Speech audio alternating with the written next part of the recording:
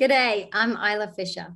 In the new movie Back to the Outback, my character Maddie leads some of Australia's dangerous and often misunderstood creatures on a journey of discovery. And when you visit your local library, you too can visit faraway places and also uncover characters who have their own beautiful story.